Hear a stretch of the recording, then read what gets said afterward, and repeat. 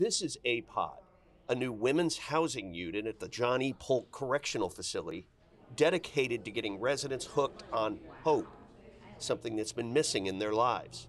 The number one thing that I'm looking for when it comes to participants in this program is a genuine desire to change their lives. I burned all my bridges, and I didn't have anybody to believe in me anymore. Since 2008, 33 year old Heather Brown has been in and out of jail on charges of petty theft, trespassing, and burglary, all tied to opioid dependency. I was rear ended by a semi, and I was uh, written a prescription for hydrocodone. And I was a school teacher at the time. As these photos in the APOD unit make clear, there are innocent lives at stake in the residents' road to recovery. Judge Jerry Collins has seen many drug dependent defendants like Heather Brown, the mother of three young daughters, commit crimes to feed their dependency, ignoring their own kids.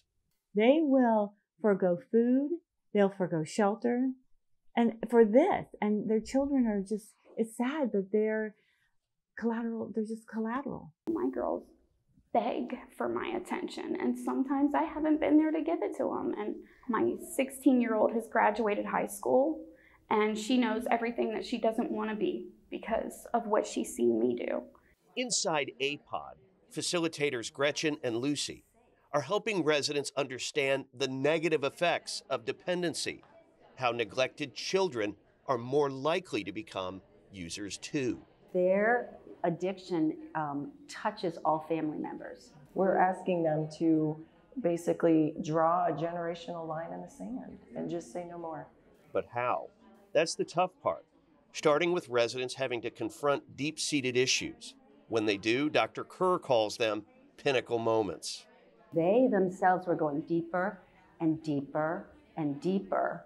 And we got to this place where these ladies were sharing things that were just heartbreaking.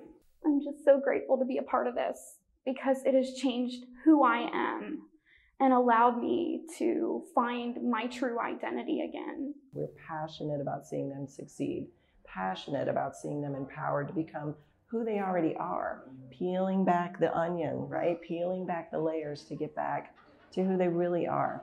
In another indication of how well residents are taking to the program, all the years I've been doing this, I never had a request to extend a period of incarceration, which is is good. In this hearing, Heather went before her judge with an extraordinary request to have her sentence increased by three weeks in order to complete the APOD program. That was the first time in my judicial career, or even as a prior prosecutor, that I've ever had anyone come to court and say, I want more jail time. I, I need to stay in here longer.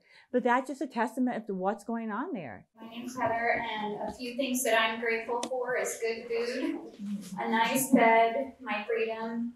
And now, at the end of the three weeks that she asked to have added to her sentence, Heather Brown is graduating. I had my freedom, but I was a slave to my addiction. This graduation speech is required of all women in the program. This has been a life changing event for me and I'm really grateful. Thank you. To go to jail and to get this kind of help is a godsend because I was lost and I'm found.